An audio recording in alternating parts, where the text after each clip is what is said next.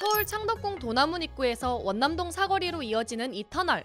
최근에 만들어진 이 터널 위에 조선 왕들이 사용했던 길이 복원됐습니다.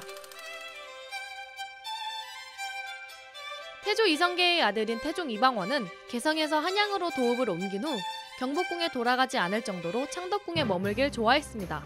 태종이 창덕궁에 머무는 시간이 길어지면서 창덕궁에서 창경궁에 있는 종묘로 아련을 가기 위한 길이 필요해졌고 이 길, 즉 왕이 종묘 사직에 인사를 드리러 가는 산책로를 만들면서 그 한 가운데 북신문을 설치했습니다. 1416년 태종 16년 때의 일입니다. 정작 태종 자신은 이 문을 많이 사용하지 않았다고 합니다.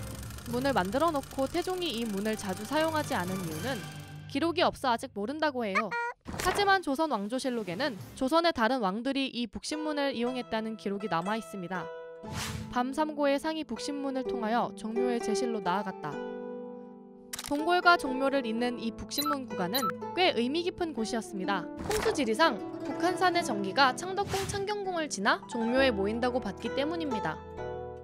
그런데 일제강점기인 1932년 4월 22일 일제는 창경궁과 종묘를 잇는 궁궐의 문과 녹지대를 밀어버리고 종묘 관통도로라고 하는 4차선 도로를 만들었습니다. 1926년 순종의 죽음 이후 조선 총독부가 도시계획의 일부라며 이 사이의 도로를 뚫어버린 것입니다. 하나로 연결되어 있던 동골과 종묘는 서로 뚝 떨어진 섬이 되었습니다.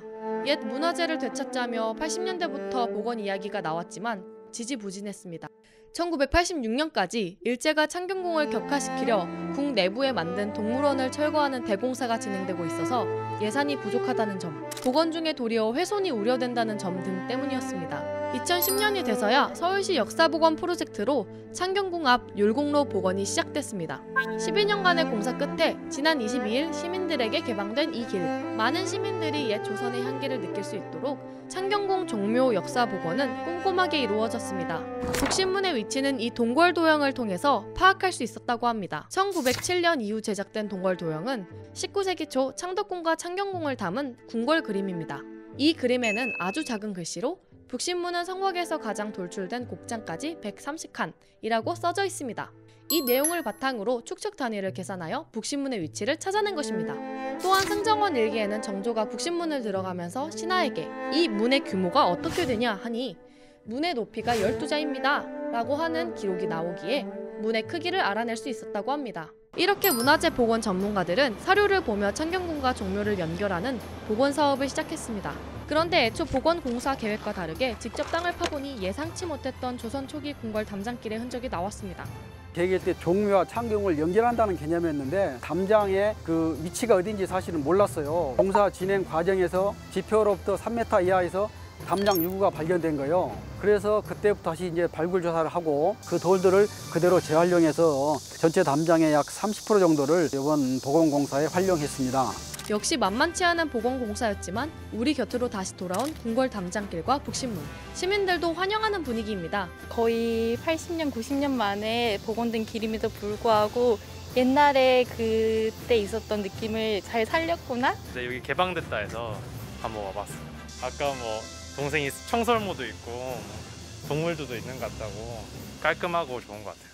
I think one important thing of walls is that there should always be doors, and I think it's really nice to have the trees on the left side, which are regrowing. With the wall, it gives you an impression 아직은 북신문을 통해 창경궁과 종묘까지 걸어가 보긴 힘듭니다.